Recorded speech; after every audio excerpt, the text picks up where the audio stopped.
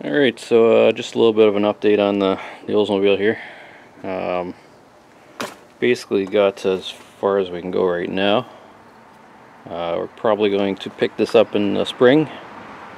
It's not too far from running, but there's still a big list of uh, little things to do. And uh, we have to get my dad's car out of the garage soon, so we got to get this thing moved. Last time we were swapping the oil pan out we got that all installed now. Actually fits pretty nice on the G-body here. If you guys are thinking of picking up that pin, it's, uh, it's got lots of room there with the 455 anyways. It doesn't hang below the cross member too much. Had some issues with the shifter linkage here. Uh, I had to shorten it. I still think that this bracket here for the, the shifter on the tranny is the wrong one. Um, right now it's uh, it's just temporary. We just got it uh, hooked up so it goes in the park, but it won't uh, shift all the way down the first. This piece here is too long or something, so I did shorten this to because uh, before the cable was sticking out too far. Uh, drive shafts in. I think I showed that in the last video. Well, starters in. Got uh, exhaust manifolds are all back on there. Uh, just a little piece of pipe on there for now, just to point the exhaust out towards the ground a little further. We'll eventually have to get full exhaust made up for it. Once we put the oil pump in, we have to upgrade the oil pump drive shaft that goes on the bottom of the distributor. It uh, it's a thicker one, stronger. If you use the stock one, they tend to, to break with a high volume oil pump. So it's basically just cheap insurance. That's on there. Uh, distributor's in, carbs on, cams in. We've primed it already. Uh, basically now we're just down to finishing off the transmission lines. I got uh, most of them made up here. Still have to finish that one has to come around to the cooler here.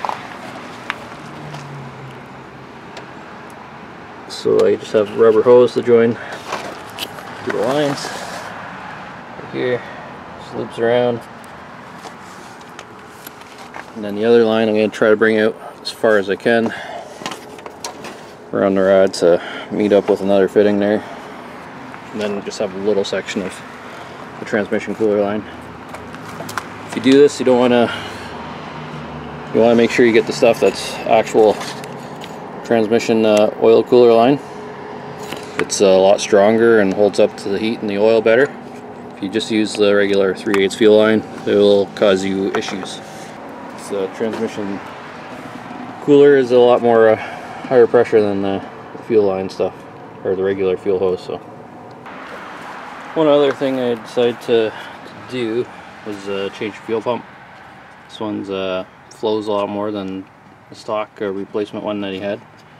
Uh, stock one flows 35 gallons per hour.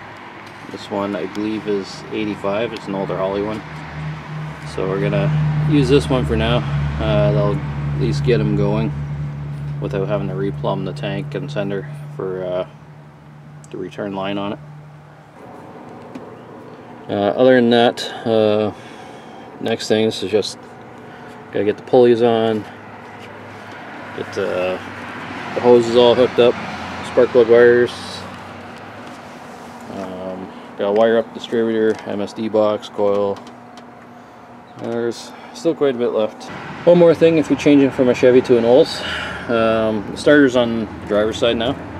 So you have to swap over from the battery would usually be on the passenger side.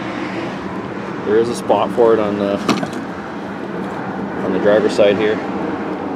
So it just uh, makes the cable routing easier. Plus you put your battery in the trunk. It's up to you. So that's going to be it for this one today. Uh, thanks for watching. Uh, make sure you subscribe if you want to see more of this. And uh, hopefully before the spring. Thanks.